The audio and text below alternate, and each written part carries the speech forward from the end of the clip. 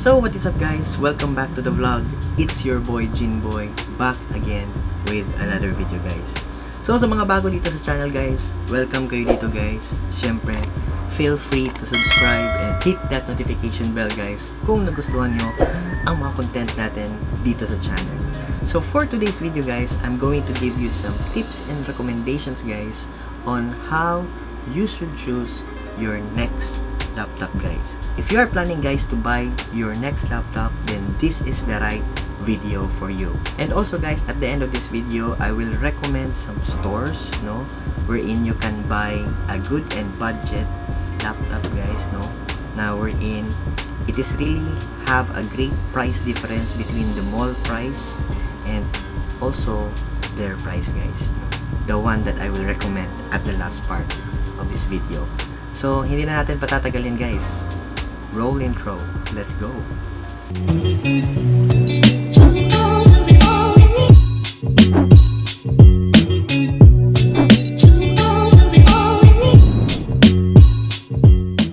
So, ayun na nga guys, nakaabot na kayo sa part na to. So, meaning guys, you are very interested to learn on what are the things you should consider in buying your future laptop or your next laptop guys.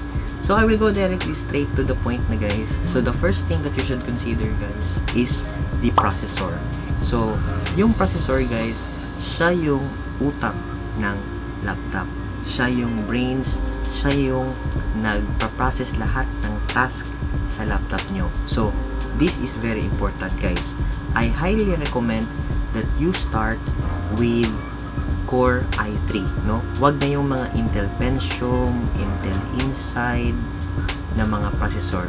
X na yan sila, guys, no? So, start with Core i3 pataas.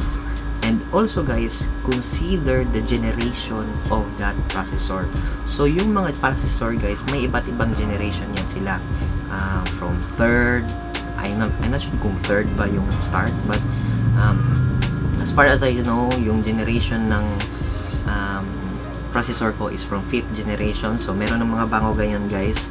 Merong 6th generation, 7th, and I think the latest one is 9th generation. So, consider that guys, no? Kasi, iba yung speed ng Core i3 na 4th generation kumpara sa Core i3 na 7th generation which is mabilis yung 7th generation obviously no so aside from that guys also look sa tinatawag natin na JHZ no? Or yung tinatawag na gigahertz sa isang processor. So ang required ko talaga guys or I highly recommend na humanap kayo ng laptop na may GHZ na 2.0 starting from 2.0 wag na yung mababa. Or if you can find 2.5 and above that is much better guys. 2.0 gigahertz will do already the job pero the higher the better guys no kasi yung GHZ guys dyan mo makikita kung gaano kabilis ang laptop no? So ang 2.0 mabilis yan. Pero the higher the better guys. Meron ding ibang mga laptop na it starts with 2.0 gigahertz and it boosts up to 3.5 that is also highly recommended types of gigahertz guys. So if ever guys if maka-encounter kayo ng mga laptop or second half laptops na plano nyong bilhin online tapos merong nagbebenta ng Core i7 guys na from 4th generation. Tapos meron din kayong nakita na Core i3 pero 7th generation. I highly recommend that you go with the Core i3 guys na 7th generation. It is because bago yung processor it is also expected guys na bago rin yung mga components sa ilalim ng laptop 'di ba compared to a 4th generation Core i7 medyo ilang generations na yon backwards 'di ba so luma na yun siya. The second one guys that you should consider is the RAM no?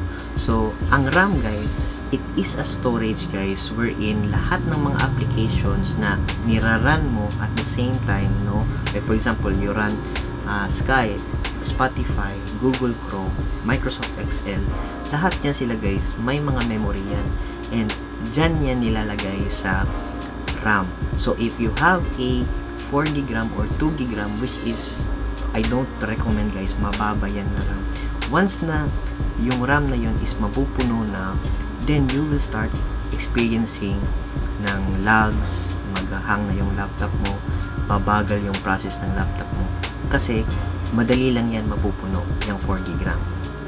So, I highly recommend guys that you start with 8 GB RAM or even more. Why not 4 GB? Why not 2 GB RAM? It is because guys, uh, from the moment that you start your laptop, for example, um, naka-on pa yung lap, uh, naka-off pa yung laptop mo, then it runs with Windows 10. Let's say, and then it runs with Windows 10 guys. So from the moment that you turn on your laptop guys, ang mangyayari is meron si Windows mga services, mga processes na, na nagra-run na kaagad from the moment that you turned it on.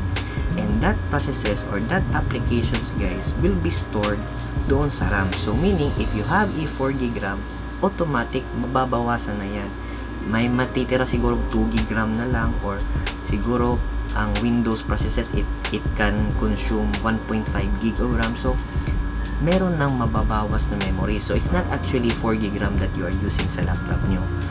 May matitirang 2 GB or 3 GB depende no uh, siguro kung lagi kayong nag-update ng Windows then Windows will add more services no kagaya lang yan sa mga iPhones if you update your iOS iPhone or your operating system mas malaking storage siya.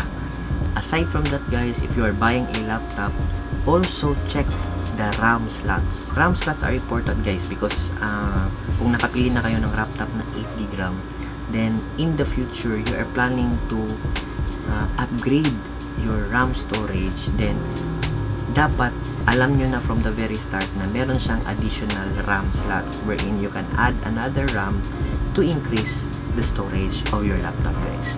So yan, yan ang mga dapat yung uh, i-consider when it comes to the RAM. No? So the third one guys that I highly recommend that you should consider is the storage guys. No? So for the storage guys I highly recommend that you go with 1 terabyte? 1 terabyte HHD uh, because if you settle with 500 gig guys uh, make sure na ikaw yung type of tao na hindi nag-hoard ng mga files. Now obviously uh, I cannot deny lahat tayo. Nag-hoard tayo ng mga movies videos, photos from kindergarten no? so settle with 100 1 terabyte as much as possible para may mga storage kayo na malaki for your personal files as well, di ba?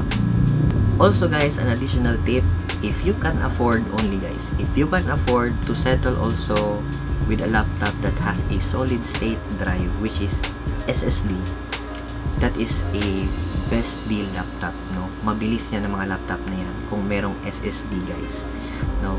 uh, usually ang nangyayari is uh, you have a dual storage wherein you have an SSD and you also have a HHD which is 1 terabyte. Then doon sa SSD guys doon nilalagay yung operating systems mo kasi uh, mas mabilis yung SSD basta guys SSD mas mabilis kumpara sa HHD so if a laptop has an SSD expected na mas mabilis yun na laptop compared sa laptop na HHD lang ang meron. So the last thing that I will recommend guys is where you can buy these best deal laptops no? At a very low price guys. Best deal na yung mga specs. Now disclaimer lang guys ha? Or reminder lang guys ha? Buyer's risk po to. If may plano kayong bibili sa mga stores na to and you encounter problems with it uh, wala akong kinalaman dyan. But uh, in my experience guys I already bought 5 times already in these stores um, iba-iba kasi yung mga stores na binibilhan ko and the reason why I buy from these stores is because uh, I have also some friends na binibigyan lang ako ng estimated budget and I look a I look for a laptop for them and until now guys their laptops are working perfectly fine. The stores that I will recommend guys will be mentioned not in particular order guys ha. I mean, uh, hindi sila rank no. So, and also guys, reminder lang, ang mga stores na i-mention ko, hindi nila sponsored tong video na to. No? So, based on my experience, I highly recommend them because they are professional in their work and yun nga, dumadating talaga yung laptop and working perfectly fine yung mga laptop na nabili ko. So the first store that I will recommend guys is uh, Jan Store guys, no. The second one is RS Gadgets. Third one is Quan Corporation. So you check these FB pages guys. I will link it down below para makita nyo yung mga laptop na available ngayon sa kanila. And you can really see guys the price difference. I mean, if you can find a laptop guys sa mga mall like for example 25,000 yung budget niya and Core i3 lang yun in these stores that I recommend guys yung 23 or yung 25,000 ang budget nyo guys you can already buy a Core i3 in the latest generation or you can already buy a Core i5 pa no? Tapos may mga video card na mas malaki yung RAM compared dun sa sa sa mall price no? Um, ang downside lang nito is yung warranty. I think they only offer 7 days warranty and replacement sa mga laptops if ever you can prove na merong problem talaga. Pero based on experience guys kaya nga tinawag ko siyang buyer's risk no kasi yun nga yung downside meron siyang 7 days replacement lang and I think I'm not sure sa warranty ha, you just verify with them. Pero based on experience guys, wala talagang paligay yung mga laptop until now. So ayun na nga guys, no?